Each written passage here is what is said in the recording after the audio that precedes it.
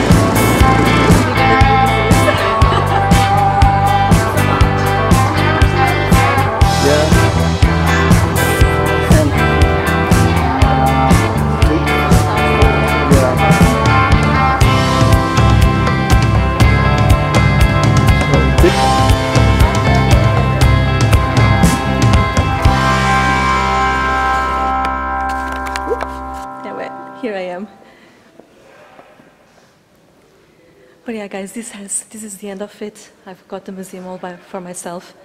Um, I have to say that this has been a great, great event.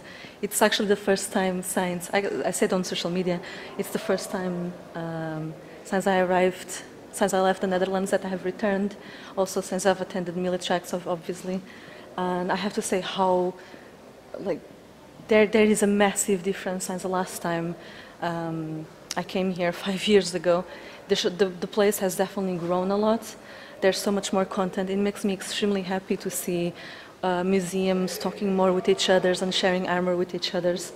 Um, so we get a lot of nice uh, visitor uh, visit visitor tanks per se.